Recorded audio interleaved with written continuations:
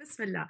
The first thing I think I wanted to say with this dynamics, um, family dynamics, and related to the frame from Islam, I mean, clearly everyone is going to go straight to the discussion related to birr al-walidain or the righteousness to parents. And this is not a birr al-walidain talk. Rather, it's more of a talk related to what do we do when we're so used to a specific, um, you know, uh, set of a, a, certain amount of autonomy and we're sort of not getting that at the moment. A lot of questions that came in had to do with not feeling like you had enough of your own space you know and as time went on from like childhood into your adolescence into now young adults there's been more and more autonomy more and more space but you're sort of now all stuck in one location.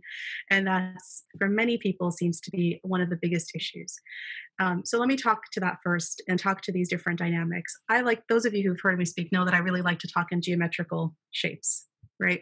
I maybe it's just my more scientific mathematically oriented brain but honestly i think it's very useful for me to think about um, in this case the example i want to give are circles. So if you think with me about concentric circles right? Think about a little bitty circle in the middle and it keeps growing out into bigger and bigger and bigger bigger circles. You following me? Yes tiny little circle and all the way out um, circles within circles and so when i think of families and i think of dynamics i always think of these circles and at the core of any circle is you, the individual.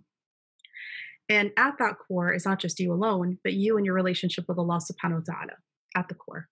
That's really the main place that we start this conversation. And then the next circle out is going to be, and these remember, these are circles of priority. So you and Allah subhanahu wa ta'ala at the core. And then the next circle out, if you are still at home, which many of you at the moment are at home, um, the next circle out are the parents, right? The circle after them come the siblings, for those of you who have siblings.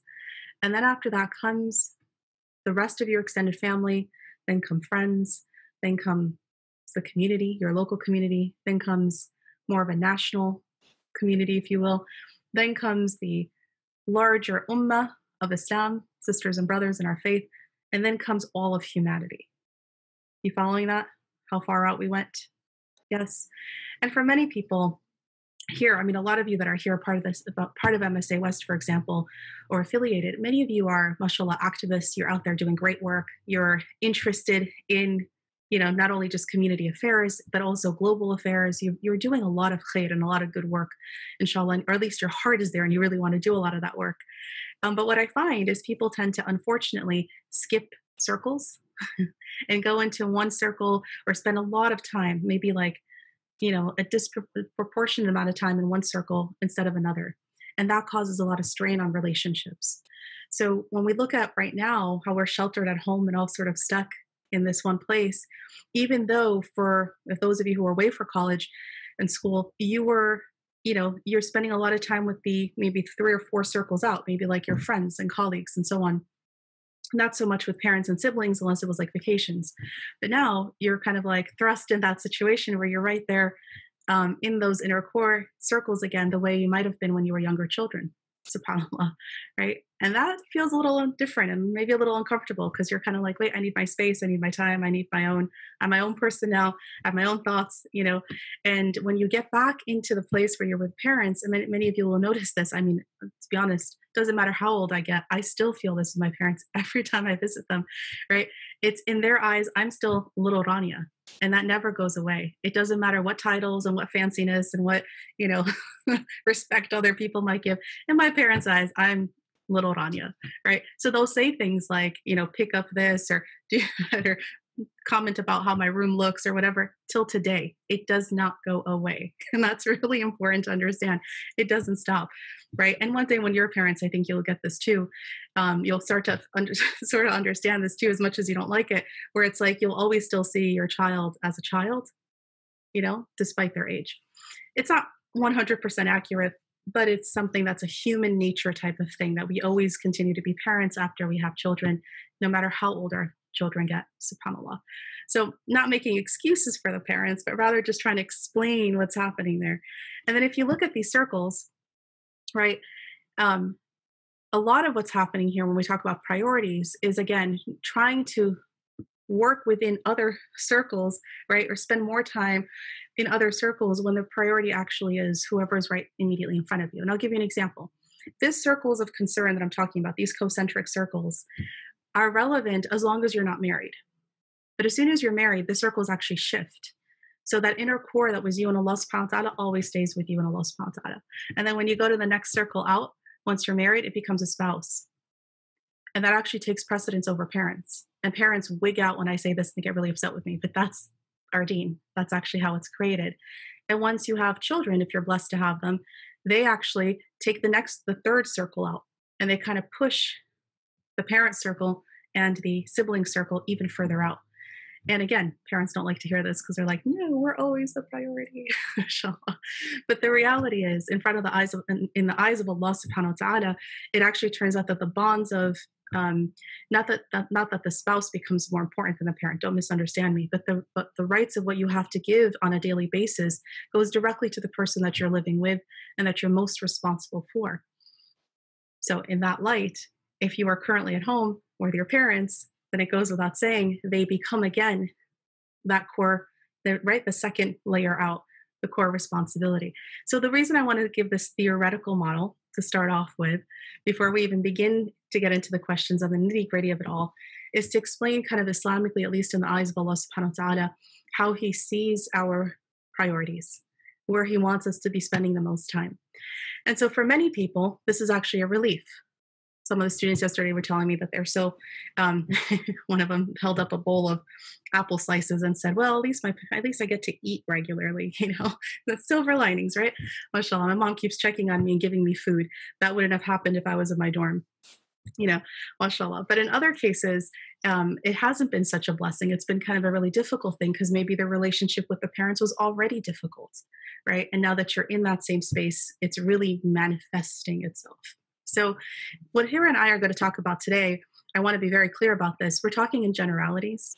We're talking in, you know, best case scenarios. We're talking in things that we hope are, you know, in general helpful to everybody, but certainly not going to deal with custom tailored answers to your specific case in question.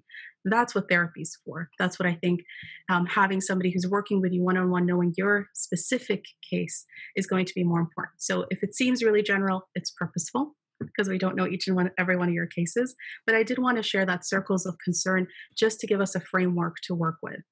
Now in that circles of concern you notice the key and core you know part there right in the middle is you and allah subhanahu wa ta'ala and for many of you who've asked for i need in the question said i really need space and time my folks are not understanding that right? My siblings are not understanding that. This goes back to priorities again so, where do parents mess up? Where we mess up is we're not giving them the priorities they need, so they become clingy. Yes, parents can become clingy too, just like little kids, mashallah, they do, in fact, right? They're like, You're home, right? And so, and that shows in every way from come sit with me and talk with me, right? Or just entering into your room and space all the time. And, or it manifests itself into like, you know, come make dinner with me or simply make the dinner or it manifests into very differently where it actually manifests into like nagging you and wanting to get into your business wanting to ask everything that you're doing constantly in your you know space. And a lot of that you have to figure out you have to read between the lines. And if you haven't been home much or even if you live at home but don't spend a lot of time with them and they're like yes you're sheltered at home. You're stuck here with us. You know there is a sense of them from them of of wanting your time I mean, a lot of that nagging actually is them wanting quality time with you, but they don't know how to say it properly and exactly. So it either comes out as, you know, again, nagging, or it comes out as being demanding of your time. So sometimes we find that if you actually just sit down and like really have a heart to heart, for those of you who've ever attempted to do this, some of your parents are great at this, some of them are terrible at this, right? But if you try to really get to the, the, the bare bones of it, you're going to find that a lot of it is just they simply miss you and they want your time you know um, or they want company maybe it's a little more selfish like they want company or they want somebody to be with them in that cooking space that they're whatever cooking cleaning doing whatever chores and they just miss not having anybody there anymore subhanallah and now you're there so they kind of latched onto you so think about that a little bit too when you think about people being in your space but in the first core circle, you and Allah subhanahu wa ta'ala, I always tell people this. One of the most important things that I find, you know how when you're on your prayer rug and you're praying, you know, unless unless it's a little bitty toddler, people know to leave you alone. They know they can't interrupt you while you're praying. Yes, you follow me? True. Well, there's another trick here because I mean, the trick wouldn't be praying like three hours in a row because then your parents would get really super suspicious, right? Because it's not away yet. okay. But where they would, you know, where, where it does actually help is if you have a visual cue. And those of you who know that I really like to talk about atikaf and especially a woman's atikaf and going into like your spiritual seclusion, your spiritual space. And for the men who can't be at the masjid right now to do atikaf, because um, women can do it at home, but men can't. But for both men and women, we're able to do khalwa, which is essentially the same concept of atikaf, but it's not within the masjid. It's just in your home. And khalwa just means taking spiritual seclusion or spiritual space. But if your folks, your siblings, whoever's at home sees the visual cues, they see your prayer rug out, they see this corner that you've set up with like your, you know, you know, maybe you've got your water bottle and you've got your snacks, but you've also got your prayer beads and you've got your mushaf, you've got your all your religious paraphernalia. Okay, you've just got a corner right? You've got a nice little corner there. And when they see you go into that space and kind of spend time there connecting with your Lord, they kind of know, oh, okay, they're doing their spiritual thing, right? And the nice thing about Atikaf, for those again who've heard me talk about this concept, um, and if you haven't, you can always visit the Rahmah Foundation's lectures where I actually speak on how exactly you do this. It turns out you can actually study and work within an Atikaf space as well. Okay. So you can do a little bit of dunyawi things, right? Little business, little secular things, school related things. And so you may have your school books there, you may have your other things there, but you're in that space. And in that space, it's kind of understood like, just like we don't interrupt you in prayer, we're not going to interrupt you in that space. So I, I give people that suggestion and say, have a visual cue because as long as you're sitting there at a desk or sitting there on a couch or sitting there even in your room and it's your parents, they're going to just sort of come in and out and not really have that cue to understand like this is my time and my space unless you're like i have a final tomorrow and then hopefully they'll leave you study for a bit.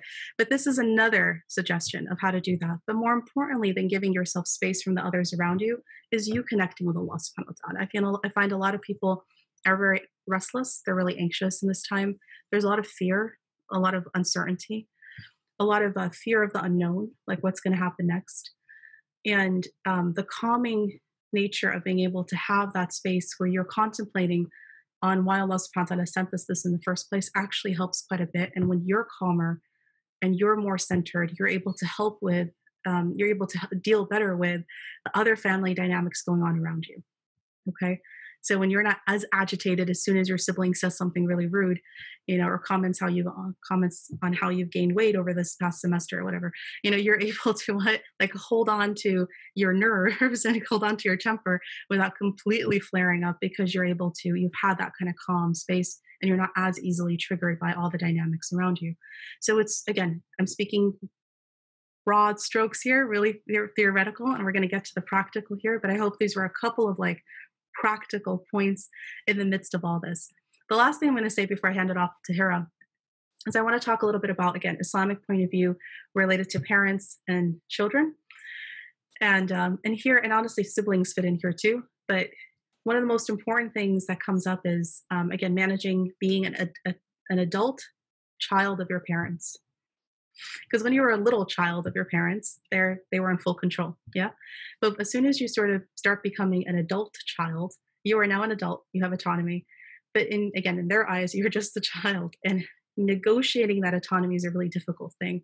And for many people i think it's important as you're trying to find yourself become who you are come into your own you're having a lot of opinions and strong stances that your parents don't always have or agree with right? You're fighting for causes that they're not at all interested in. In fact, they might even ridicule them, right? So, what do you do when you have these deep differences? It could be religious, it could be, you know, orientation, thinking about the world and framework, you know, the world and like how it functions.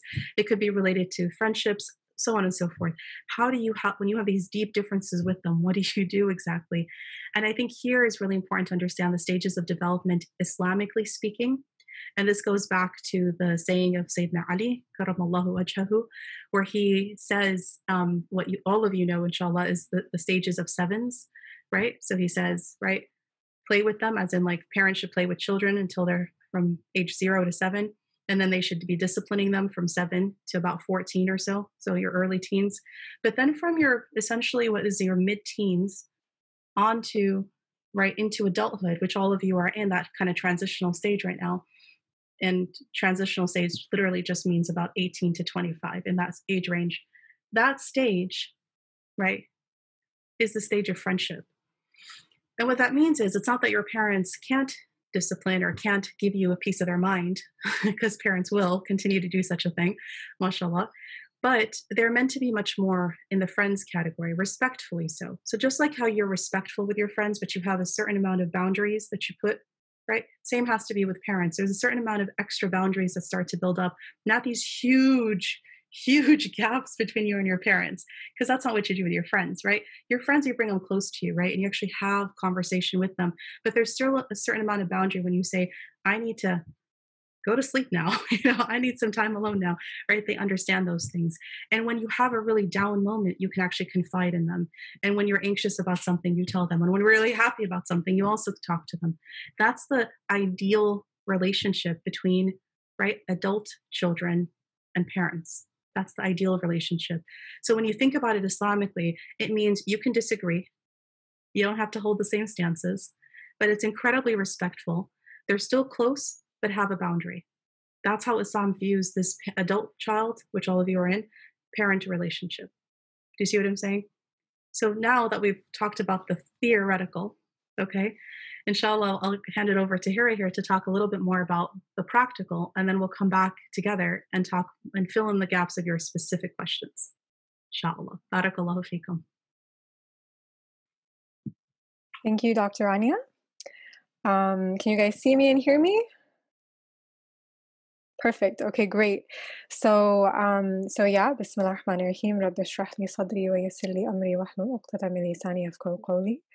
Um, we're going to go ahead and uh, talk now a little bit about um, practical uh, counseling, psychology based tools on dealing with our parents and family dynamics. So, um, for for my piece, I'm just going to talk for about five to 10 minutes, inshallah. And I'm going to ask you guys actually, if you uh, are able to, I, am going to ask you guys some interactive questions. So if you have your chat open, feel free to respond to me there. Um, I want to get your guys' juices flowing uh, for this part. Um, so I'll start by just continuing a little bit of what Dr. Rania had shared.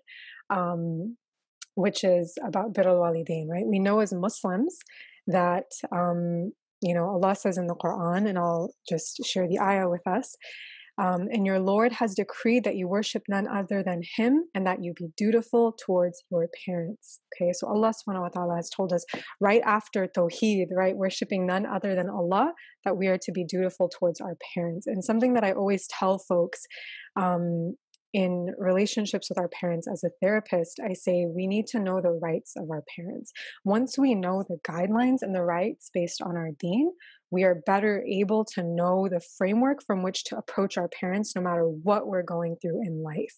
Um, and Dr. Rania mentioned Bir al Walidain. So there's an awesome book that I want you guys to actually consider getting if you don't have it or studying online. It's called The Rights of Parents by Imam Maulud and it's translated by Sheikh Rami Nsour. Um, so later, sometime in the webinar in the chat, I'll just give you guys the name for all of you to see. Um, but what I have actually found is when we know the guidelines and limitations within Islam of how to communicate with our parents, we have an easier time and a structure and some guidance on how to especially have those difficult conversations um, with them. And so, one thing that I just want to state from our faith is that, you know, as we know, our parents have rights over us and we have rights over them. However, we are bound to fulfill the rights of our parents, regardless of whether or not they have fulfilled our rights. Okay? This is something each and every one of us has to know.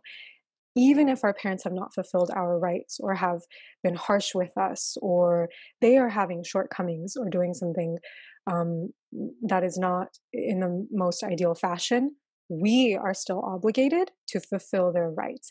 And the rights of our parents are for us in four categories. Does anybody know what those categories are? This is what I want you guys to in the chat enter them. There's four categories where, according to Ardeen, our parents have rights over us. I'll tell you the first one to give you guys a hint. The first one is speech. In our speech, our parents have rights over us. I'm not sure if the chat is actually working. Um, so I'll just give it another minute. Yes, got it. Testing. All right, so I'm going to tell you guys, for the interest of time, our parents have uh, rights over us in the areas of speech, is number one. Okay. Number two is body. Literally, your body, your parents have rights over that in a, to a certain uh, extent. Your wealth. Okay. And then the fourth area is your heart, right? Um, our parents have rights over us even when it comes to our, you know, the heart uh, and how we feel towards our parents. So, for the purposes of our talk, we're going to be touching on body and speech. Um, and the, the right that I really want to focus on is on speech, is that regardless, we are required to speak to our parents in a way that is respectful and kind, um, despite what we are telling them. And the story of Ibrahim alayhi salam comes to mind, where um, Ibrahim salam went and destroyed all of the idols, right? And his father, who was a polytheist, had said to him, you know, you know, what have you done here? You know, and Ibrahim salam had responded to his father, Ya Abati, still in the most respectful fashion, disagreeing with him on almost the crux of life, right, which is belief. And still Ibrahim salam made a point and addressed his father with the utmost respect, Ya Abati, oh my father, right? With kindness and with mercy and humility. Um, so this is, you know, right our parents have over us, regardless of what we do. And it is our faith duty to try our best to implement the psychological tools and whatever we can to be good to them. Um, so now I'm going to get into some of the tools here.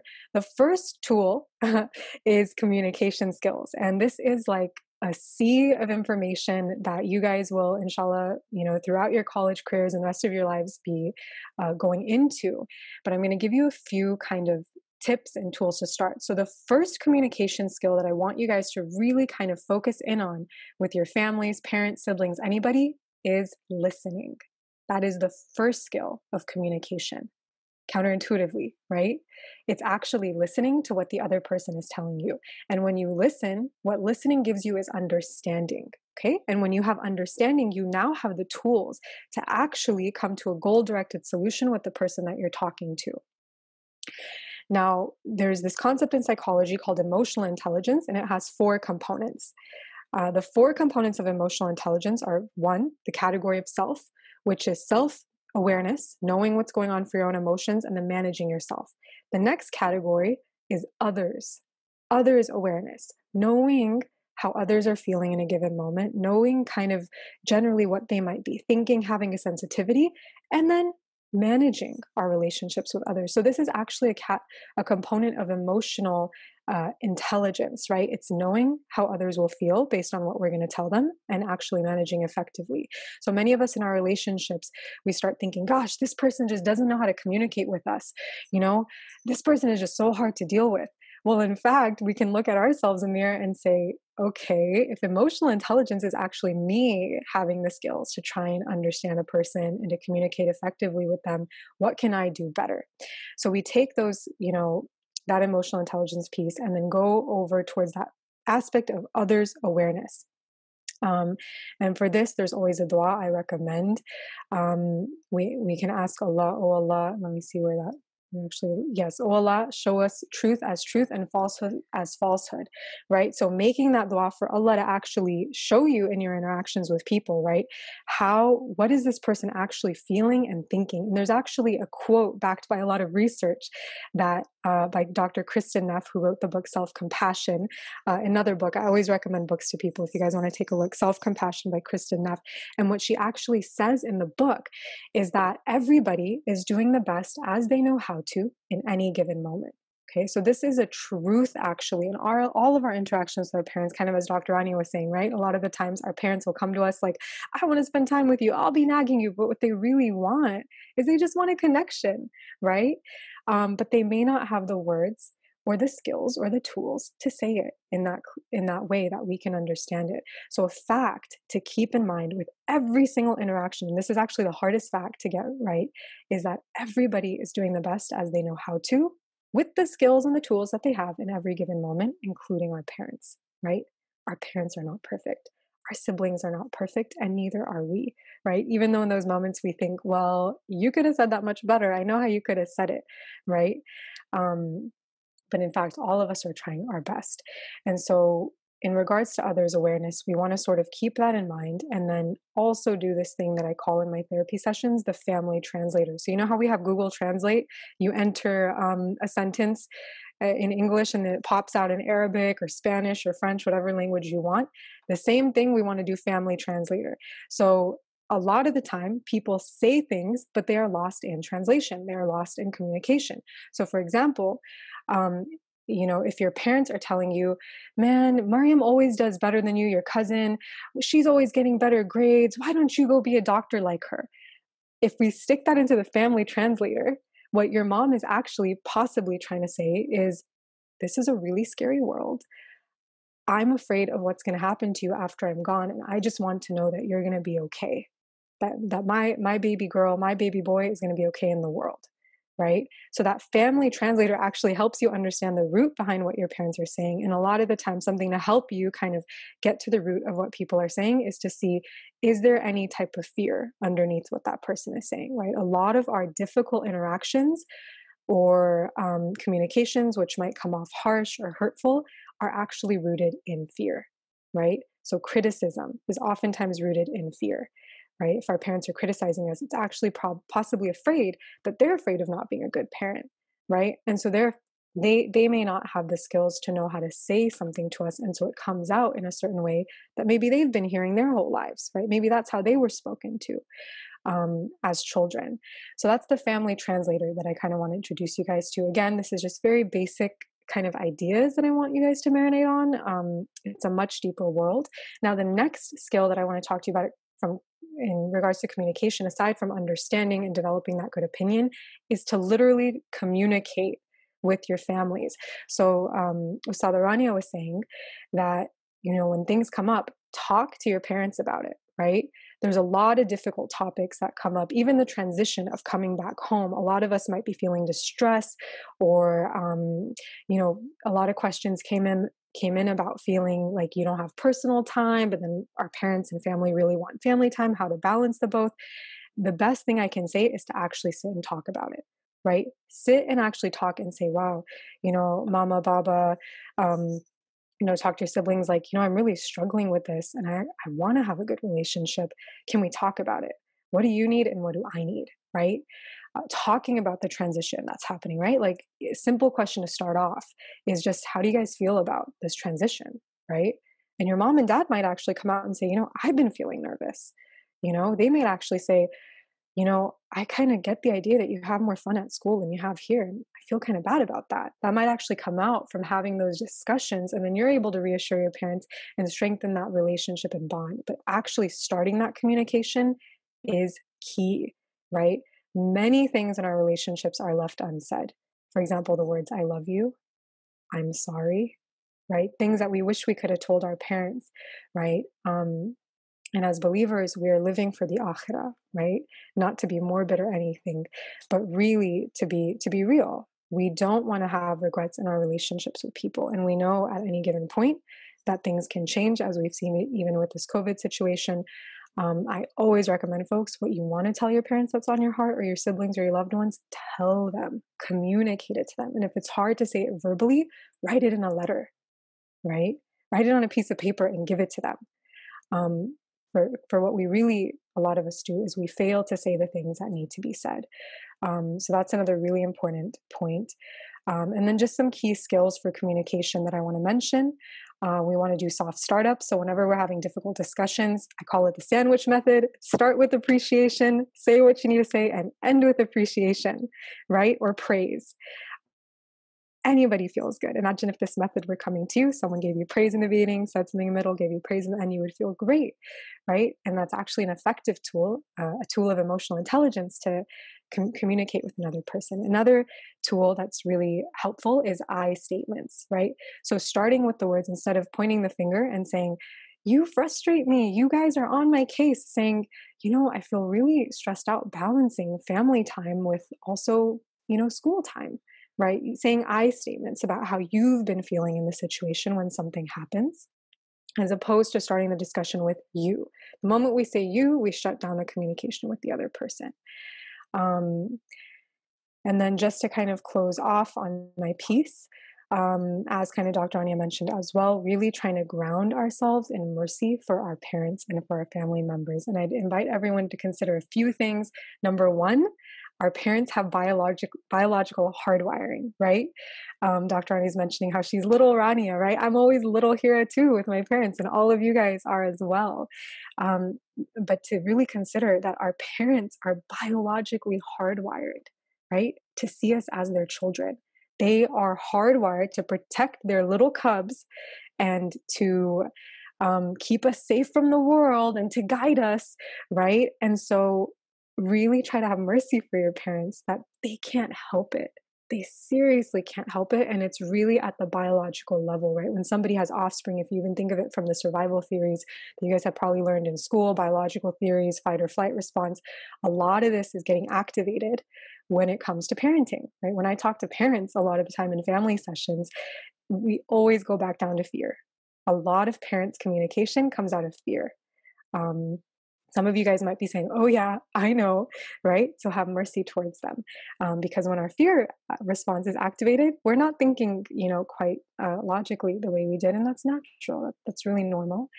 Um, and then the other piece is you know, in your relationship, it's really easy to get caught up in the weeds of what someone did to hurt us, or, you know, maybe a pattern that's happening in the family, like controlling parents, or a family dynamic that's really difficult to come to.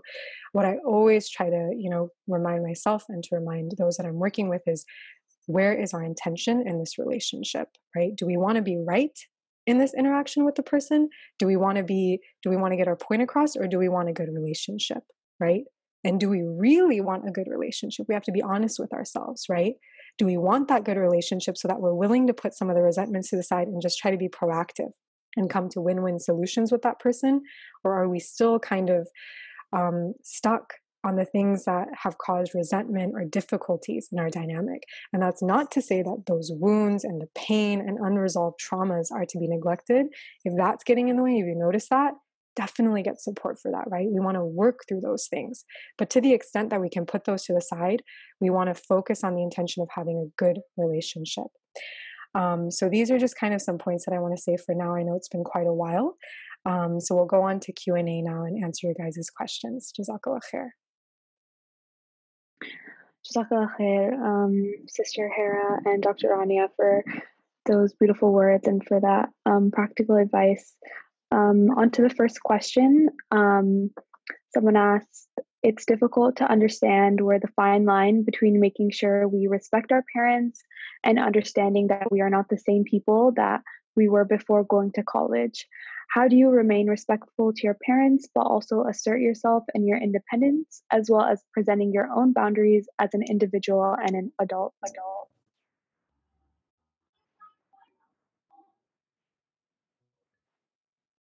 Hira, do you want to take that? Because I think a lot of what you cover there, right there at the end with the steps, I think answers a lot of this question. But yes, for that, yes. Yes, absolutely. So, you know, the ascent, the question essentially is like, how do you have difficult conversations with your parents while being respectful? Um, so, you know, it's just some general responses to this, as we mentioned, speaking to them in a way of love when we're having those difficult conversations, and really, um, is you know not necessarily to not disagree with your parents or to not tell them what you're feeling or thinking but it's to do so in a way that's respectful right? So we can disagree with our parents and tell them but use kind words right? Using a name that they like or starting off with appreciation like mom you know i know you really love me. Saying things like you know this is a difficult conversation for me too. Starting off um, you know in uh, mental health we call it a soft startup right? This is a really important way to start that discussion and really telling mom and dad, you know, um, I, I call it the and but not but technique, right? So instead of saying, you know, mom and dad, I love you guys, but I really need my space, we can say, mom and dad, I love you guys. And at the same time, I'm finding that I'm becoming this young adult and I'm figuring myself out, and I really benefit from having that space, right? So framing things in a positive kind of um, you know, method. Um, so hopefully that answers that question. If not, Dr. Ani, you can go ahead and add anything I missed. I think you did a great job there. Thank you, Hira. All right. Thank you for that. Um, the next question uh, just general things that college students coming back home might deal with. How should your relationship change as you are getting older? How can you maintain connection with them as you get busier and you're busy with school commu- com- and communication with families that talk less openly? Yeah, I'm happy to address that a bit more. And it, it kind of goes a little bit to the topic where we, we talked about where um, the stages of development and how from mid-teens onwards, Islamically speaking, at least, you know, the, the, the view of parents and children is really much more considered to be um, one of respectful friendship, I guess is the best way to put this. And um, part of that communication, and here I gave some wonderful practical ways of communicating, but a lot of it too is seeing, uh, understanding yourself. So, uh, like the question said, you know, you're growing into your own person, you have your own views, and they may become different, sometimes drastically different. Sometimes we find these differences, um, particularly related to faith questions. Sometimes it's the way you want to live your life. So I know for my own teachers, they often would remind me and say, look, one day you're going to have your own family, your own space, your own, you know, queendom, kingdom, whatever you want to call this, mashallah, depending on who you are today now. And you'll be able to, you know, if I complained about what my parents are doing or complained about, you know, how they were treating me or how they think about XYZ, they would say, look, one day you're going to have your own space and you're going to be able to do this with your own family members and have your, you know, carry out all these, I, you know, great, very, you know, idealistic things that you think you're going to carry out in mashallah. No, but no reality that you're going to be able to carry this out in a different space while you're under their roof you have to respect their their priorities and their boundaries and what it is that they're wanting of you. And as much as that is you know not music to everyone's ears here mashallah it is the reality of our um, islamic understanding of parent child relationship. And i think it's really helpful to know that as you get older and as you move from this shelter in place situation you're kind of on your own and going into new territory inshallah the most important thing i can remind you of is that in islam even with terrible relationships, we're meant to keep silatul rahim, the sila, which is basically the connection with those whom you have blood relations with. So these are parents, these are siblings, even if you don't fully get along with them. These are your aunts, uncles, cousins, grandparents, right? Blood relationships. And I think it's really important because people always have a hard time with like, well, that person treated me terribly. Or it could be even more extreme than that. It could be that person was actually abusive in some way.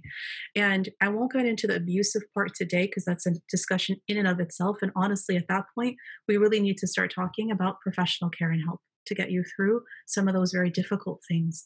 Um, for non-abusive blood relationships right uh, maybe they're annoying maybe they're not you know the most comfortable maybe they're critical but not not abusive okay but here we're talking about the importance of keeping the sila. So with parents, you know, the most important thing I can say to you, regardless of where your relationship is with them now, as time goes on, you must keep that relationship, that connection. That just means a connection. So for even the most difficult relationships I've counseled in my own therapy sessions with people, you know, we'll say, look, keeping a connection is as minimum as if you want to talk about the fiqh and the rules of things, it's the minimum of at least calling you know, in Eid, the two Eids, right? Giving a connection could be a phone call, an email, or something, something to keep the connection. Because as long as you're not the one severing the ties and you're not the one shutting the door, you're not sinful. Do you see what I'm saying? Whereas that's the bare minimums. We're talking about the skeleton here. We're talking about the bare minimum um, of someone who's a blood relative of yours and you not being sinful by cutting off that relationship. But you don't have to, you know, grow it and nurture it. But we would hope with relationships that are closer, again, those circles of concern, those concentric circles, the ones that are closer, parents, siblings, you know, very closer extended family, that you're doing more than just a simple connection, right? That you're actually really bringing that relationship to fruition. So just to think about how that changes over time. And I can't tell you the last thing I'll say on this is that, you know, when I think about our elders, you know, COVID 19 is really affecting the elderly more than it's affecting anyone else, not just physically, because they're more susceptible to actually mortality, actually dying from this virus, but also because psychologically they're really scared. they know that it's just if they get infected, I mean, there's a very, very high chance. So all the elders of your family are walking around with a ton of anxiety right now. Even if they're not saying anything and trying to like remain strong in front of you, they're really scared. So for you as a younger person to be able to acknowledge that, to sit with them, to be with them, and and um, and to check in on them, to FaceTime your relatives that are elder that are not you're not able to go because you don't want to infect them in any way accidentally. But to really check in on people and the shelter in place is showing something really important i think to everybody muslim and non-muslim alike. It's showing the importance of that relationship that even when you grow and your own become your own person is you are still your parents child you are still your grandparents grandchild right? And they need you more than ever and it's showing now more than it's ever shown before subhanallah. So i hope those words help a little bit Yeah, that was um, really great, mashallah. For the next question, um, someone asked how to build a stronger relationship with siblings in relation to empathy and how to have more open and safe conversations. Okay. So, what we would say for this is um, definitely with the building of any relationship, we want to start by reinforcing the positive that's already there, right? So try to identify what's going well in that relationship. Is there some type of quality time that's really good or some type of funny activity you guys like to do or a game? Build on that. Keep doing that more because the more positivity you bring into a relationship, the more that it lowers our guards and helps us feel warm and creates feelings of bonding. That's the first step. Just starting any relationship, sibling, parent, you know, a new spouse, all of that. The next step is to go into the space of vulnerability and opening up. And we want to start by doing that with ourselves, right? So the question included empathy and having more open and safe conversations. So what that brings to me in mind is is there anything there to sort of block that? And what I want you to do if you're the one that asked this question or are trying to seek that openness with somebody else, ask yourself, what do you think is blocking that empathy? Right? And is anything coming from your end? And then also ask yourself, you know, what's that dynamic or pattern that's happening? Right? Um, and then I would say try to go back, take that information, and then try to go back and always ground that interaction with your sibling or your loved one or whoever you're trying to bond with back into what you really actually want, the shared goal you have, which is both to have a good relationship, right? And again, I tell many people, although it seems like you're fighting, you're actually both fighting for the relationship. The most dangerous relationships are the ones in which there's no fighting. You're just apathetic, you don't even care, you couldn't even be bothered. The relationships where there's fighting, it actually means someone's fighting for a connection. They're fighting to be heard, they're fighting to be understood. So there's actually common ground there. And what you can do if you're comfortable being vulnerable with your sibling or loved one is to say, you know what, I know sometimes we fight, but I want so badly for a good connection with you. I look at other siblings who have a good time and I, I wish we had that. What can I do better? Right. And this goes back to the question of do we really want a good relationship or are we sticking on different things? And another point that I want to bring up is healthy control. In a lot of our relationships, we try to control the other person or they're trying to control us or both. We cannot control our siblings or our parents' thoughts, feelings, or behaviors. We can only control our own. And part of healthy boundaries in relationships is stepping back and letting people have their own thoughts, feelings, and behaviors. If they're mad at you, that's them, right? If they disagree with your beliefs, that's them, right? And not letting that get in the way of what you really want, which is maybe being able to connect on other things, maybe having an emotional connection, or maybe being able to do fun activities together, right? we can't control the capacity somebody else has to connect with us, if that makes sense. Some people just may not be able to go there emotionally to have open and safe conversations yet. And we might let that bother us, but we might actually need to be real with ourselves and say, you know what, maybe they just can't go there with anybody. It's not just me, right? So maybe these are just some general guidelines and tools. But again, the first step is build on the positivity and the warmth that is already there. Yeah, I think those are really important points um, uh, to consider and to keep in mind. Um, on to the next question. How do you set boundaries and relieve the guilt that comes with not being able to help your family as much because of schoolwork despite being home? Okay, so I think my name was also on this question. So, um, as Dr. Rania and I both had kind of mentioned earlier in our talk, right?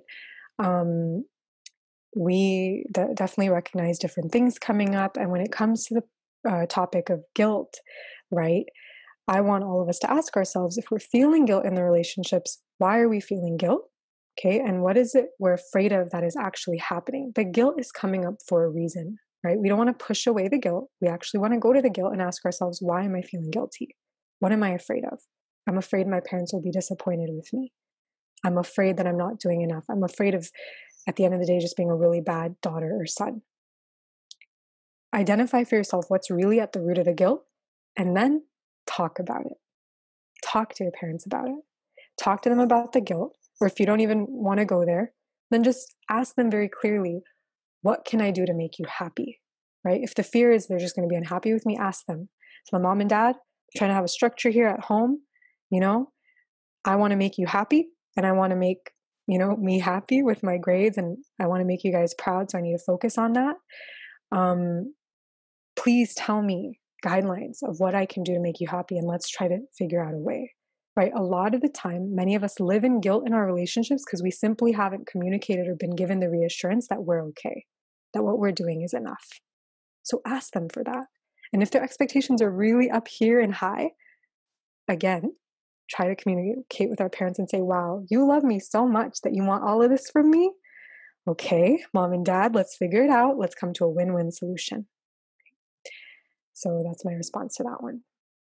I don't know if Dr. Ani wanted to add anything, or maybe Dr. Ani can take the next question. Yeah, that's good. Inshallah. Thank you for that.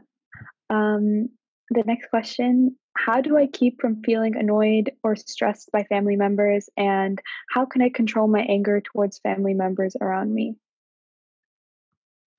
All right. So, mashallah. And, and here, inshallah, you're welcome to, to jump in here as well with this. Um, you know, the, do you remember earlier when I was saying to everybody what we really need to have our little space um, you could call whatever you want your sanctuary space, your spiritual space, your atikaf space, your khalwa space, whatever it is that helps you kind of think about it. But I always think about when, you know, again, from an Islamic point of view, a lot of the work we do with psychology is very much Islamically oriented and, and connected. And so when we think about emotions that Allah subhanahu wa ta'ala created, and you guys, Allah created all emotions, okay, including the bad ones, okay, including anger and fear and anxiety and depression. All of this is a creation of Allah and is meant to actually re- help us respond in a certain way. So, anger, we actually have a hadith that talk about this where it says anger is from shaitan right all of everybody knows this and knows that this concept of um, a reminder inshallah that you know when you feel angry we're told in hadith for example to go wash our face to cool down, make wudu, lie down, right? We have all these different steps of which how we like control that anger. It's from shaitan, it's from fire, you know, anger, anger is from fire, and the, and the shaitan was created from fire. So therefore, you know, this is where it's coming from. So cool it off with the the water of wudu. Now, some people would say that's not enough, right? When I'm in the middle of like a, a, you know yelling match back and forth with my sibling, let's say, or my parent even, you know, and you want me to just break away and make wudu, it's not really practical. How do I do that? So part of the more practical things per se, because you can, and I hope you do actually go wash off and eventually, but the first thing to do is actually disengage honestly. And that's the hardest thing for people because it's almost like when they're so angry, they need to get like the last word in. They have to get that last word in edgewise. And Hera made reference to this earlier, saying, you know, is the important thing that you get your point across, or is the important thing that you actually save that relationship and make it a good inshallah relationship? Because when it when everyone simmers down and all kind of quiets down, you think back and you go, well, that was a pretty dumb fight you know as you think of often okay maybe not every single fight but often you know we we, we argue with and then we're like why did i say that? Why did i do that? And then sometimes there are very serious things you know really serious things you're trying to get across and here i gave some really great practical steps of how you begin a difficult conversation.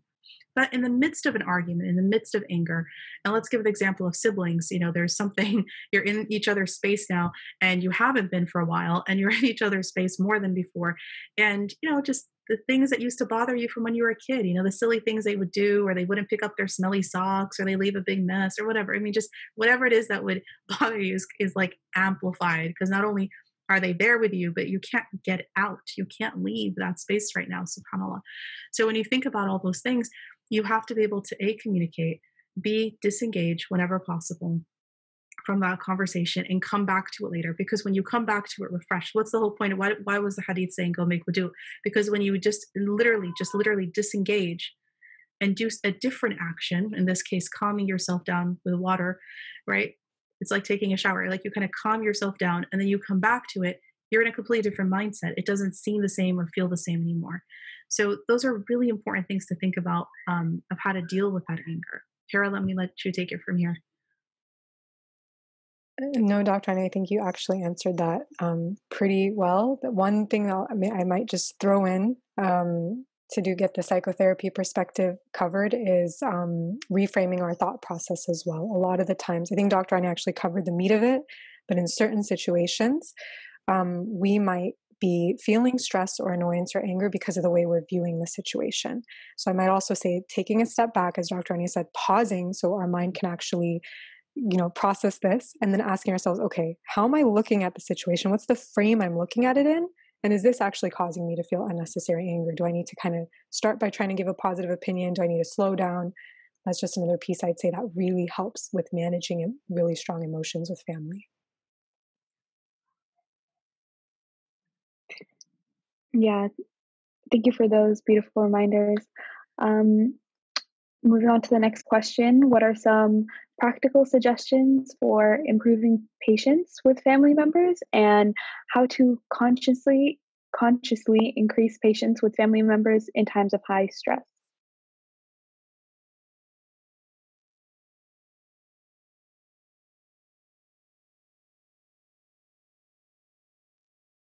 I think this one's for Dr. Rania. Take the question.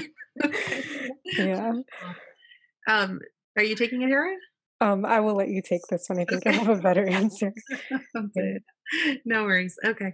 Mashallah. So so again, on the same honestly it's the same theme we were talking about just right before this, um, related to anger. But in this case it's about patience and sabr and having better patience with those all those around us. Um I feel like I'm I hope you guys are okay with what it sounds like a repetition here, but inshallah if it helps reminders.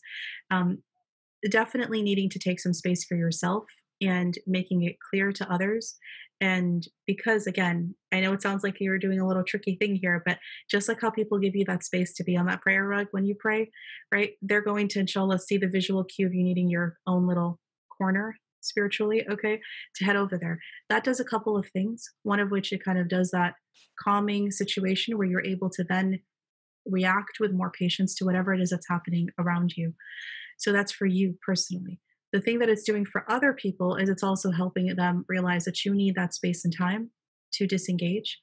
And when you have that space and time, you're able to be more patient with whatever it is that's happening. And each one of your families that whatever is happening that's bothering you or difficult is different. For some of you it's actually not the conversations back and forth with family members rather it's or even siblings for that matter. Maybe each person sort of on their own busy with their thing maybe for you it's all the extra chores you suddenly have to do that you weren't accustomed to before right and for other people it's you know just simply feeling like they cannot spend the time they want with their friends um, because they're being told get off the devices constantly like don't be on there all the time and you're like wait i have school and i have friends i have everything everything, everything, everything, is connected to devices. So whatever it may be, the point is, um, in growing sabr or growing patience, um, you have to know that it's some, something that actually requires growth. We don't naturally or innately just have patience within ourselves. It's something you need to grow. And if you the way you grow patience or grow sabr, it's a long discussion. We don't have time for it all today. But it, but I will say on a spiritual level, the way you actually do help grow it is you give yourself that time, kind of a contemplative, reflective time. And as you think through the situation, whatever it may be, and you kind of analyze it in your head, you take give yourself the pause, like Kara said before, and you think through and you analyze what the issue is, you start to realize how how how minute or how big this issue really is. So I'll give you one more example before I hand off to the next question. But um, in, when we talk about these spiritual seclusion spaces, these khalwas, these atikaf spaces that I'm always referring to, which I think are so important to mental sanity, health, you know, mental health and wellness, and spiritual health too, is when you're on that space and you're doing taking that time away. One of the things you reflect on are the relationships with other people. And in that, our teachers teach us, spiritual teachers teach us that when you reflect on those relationships, you start to understand um, it actually what it does is whoever can is like the pharaoh of your life, whoever's like the pharaoh of your life, whether it be a parent, maybe it's sibling or friend, maybe it's a boss, whoever it is, that's kind of like has that a lot of power over you to where you like you dread the relationship with them and you're feeling um, really um, uncomfortable in that situation with them all the time. There's tension there.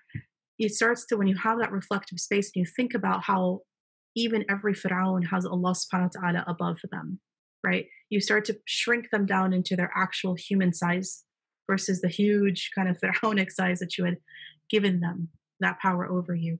And you can only really do that in that spiritual, contemplative, reflective space. And if you don't have a contemplative practice, you're never going to be able to actually, you know, put relationships in their correct spaces and sizes.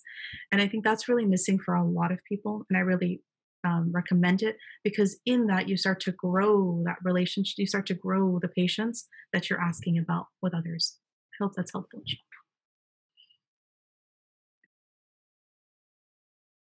Yeah, for that. Um, for the next question, um, do you have any suggestions for healthy, fun Islamic ways to spend time with family at home?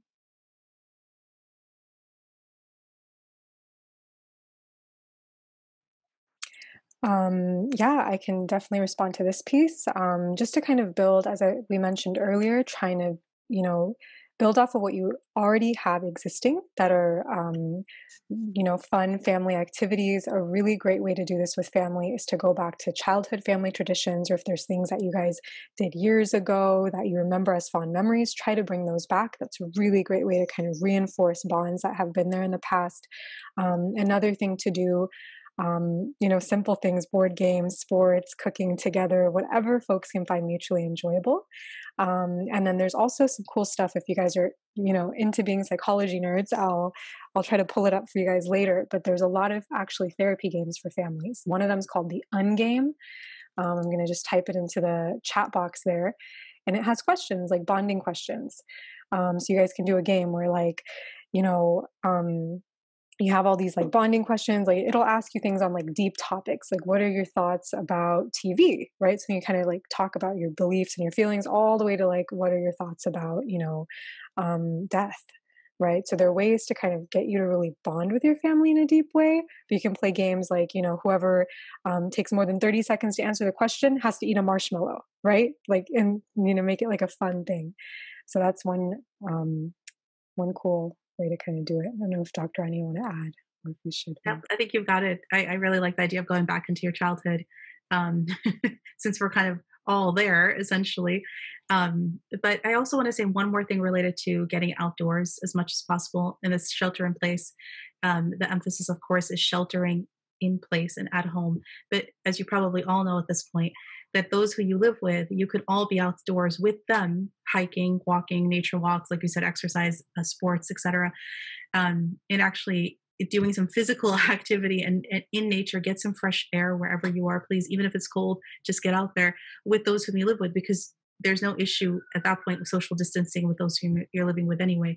But people are not getting out. I mean, I can't tell you how many students in my class yesterday said they haven't even left their bedroom for the last few weeks except to eat or something and it's like it's like that's that's not the point here mashallah.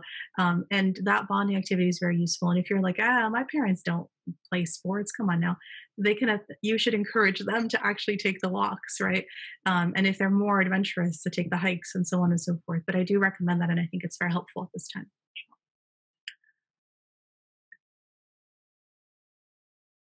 Thank you for those wonderful ideas. Um, and then uh, next, how do you balance staying in touch with friends from college and spending enough time with family? Um, so for this piece, just to kind of build off of everything we we've said, um, I kind of try to look at balancing time in our lives, uh, kind of as a circle, like a pie. So you can kind of imagine um, making a circle and then dividing it up into different parts of your life. Um, part of it could be your alone time with your creator, right? Itikaf, as Dr. Rania mentioned. Part of it's your academics, family time, relationships. what I would say is to just kind of, for every single person, it's going to be different, right? How much time you spend with your family and friends, but to just make sure that there's a bare minimum that you have kind of allocated for yourself in your mind, right? Or you've talked to your family about it. Like, you know what? Every night we're going to have dinner together, right? You have that bare minimum time so it's protected. Um, that's one way I would kind of just frame it. If Dr. Ron, you want to add anything, feel free. Sure. We can move on to the next question then, inshallah.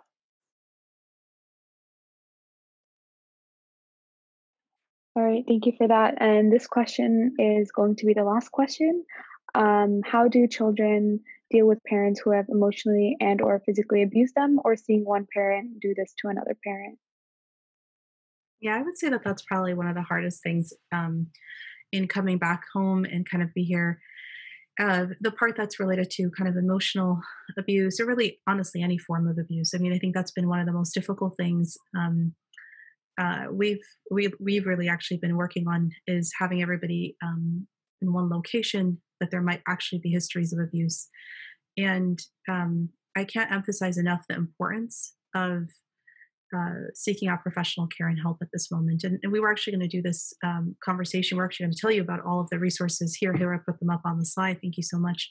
But I do want to emphasize to you the importance of um, if there are abusive things that you are witnessing or have experienced in the past or maybe are again experiencing even if it's other people like witnessing parents fighting and there's a lot of back and forth emotional verbal abuse etc or, or more than that you know the um and you're thrust back into that situation after having left it for a while i think it's important to realize that you are carrying around a lot of trauma actually related to that and um, if you can't convince those who are currently in that abusive situation to get the help themselves, you can always yourself get help. How? You're like, well, I'm not the one, you know, in that abusive back and forth. That's their marriage and their issue. No, actually, you're carrying a lot of that around as well. And you getting the help for yourself helps you figure out how to help them or how to deal with them. And I think that's what therapy is very useful for, even if you don't feel like it's applicable to you. But if anyone's dealt with any sort of abuse in the past, or even has been party to it or witness to it, you are carrying around a lot for yourself as well. And it may, in fact, affect future relationships, and you don't know how exactly yet if you're not in them. So those are all reasons why I would say this is the time, subhanAllah, you're home and you're not having to go here and there and the other place, right? You have a lot to do potentially, but you're just in one place. And um, at least we'll we'll talk a little bit here about the Khalil Center as we close. But one of the things I want to tell you is we've moved all of our offices across the U.S. and Canada now um, to teletherapy, to web therapy. So it's accessible and much easier to get hold of than ever before. And if you feel like that's something that would be useful to you and or a loved one or both, you know, I would actually really recommend you um, reach out and actually start that now while you have the time, maybe ever more than before. So um, I, there's more to say there. I just want to give that kind of emphasis first. Tara, do you want to add to that? The only thing I would add in addition, um, you know, which Dr. Rania already had started covering on, is that it's very normal um, to have, you know, those feelings of trauma that come up in this type of a situation anything you're feeling or experiencing, it's very important to have compassion with yourself for that, right? So the question included a piece about have seeing one parent abusing another parent. It's really natural for there to be feelings of protectiveness over one parent, or to feel like you need to take sides, or to um, even be apathetic and to want to get away from it all. The first step is just don't judge yourself for any of that. What you're experiencing is actually a survival response to a very not healthy situation. It's a normal response to a not normal situation. I don't even want to say it's not normal because so many of our families are struggling, right? Um, but what you're doing already right now is a survival response um, in a difficult circumstance. And then, as Dr. Rania said, it's really important if you're in that and you're having a hard time managing it to get help get professional support. And at Khalil Center, we have a lot of trained counselors, a lot of family counselors, folks who can help kind of hold your hand through the process and guide you on how to even get started with um, this type of experience. You deserve the help. Your family does. So definitely reach out to us. Yeah. If I could, um, Zahra, since that was the last question, kind of take a moment here. I know you guys are seeing the slide, and we haven't really touched on it, but we will tell you. I mean, the, the web therapy that both of us were were uh, re- referring back to relates to um, going to the khalilcenter.com, and you're able to get uh, sessions now really you know male female it doesn't matter exactly because there's so many different therapists mashallah across all of our different Khalil Center offices that could help you and your family members there's somebody to fit the bill for whoever it is that you're hoping to get support for and for those who are like well i'm not sure that i need web therapy right at this very moment. Um, there are some other resources we put here that we thought might be useful. There's an entire um, YouTube channel within our Khalil Center YouTube channel, which we hope you'll subscribe to. But within there, there's a specific sub channel that's on COVID 19 step by step resources. Um, and it has things in there like dealing with family dynamics. It has things related to dealing with anxiety that you might feel or how to modulate, you know, certain, um, how to motivate, how to, you know, work with the depression or anxiety you might be feeling. So all of it is in there very specific to COVID 19. So we hope you'll take a look at that, inshallah. There's also a third resource I wanted to tell you guys about for those who need more immediate help. So maybe you've listened to all this, it all sounds great, but right in the moment, you're like, I didn't have time to sign up web therapy and I need help right now. For that, we have our helpline, which is a crisis line. And as long as the offices are open, that line or chat box are both available too. So whether it's you or a friend or a loved one, feel free to give them that resource too, because it's another place to kind of connect to support in.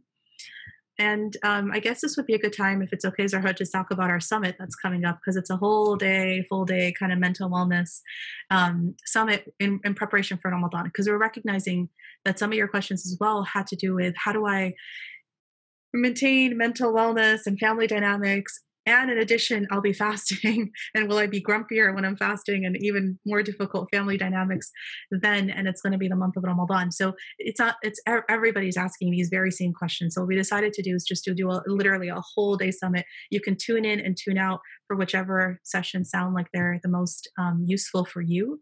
This is happening next sun not this sunday but the one after on the 19th um, essentially all day long. And we're going to release that link for you guys and to hope that msa west will co-partner with us on this but we're going to release this kind of link to you guys um, uh, so make sure you're on our either our social media pages or our um, mailing list.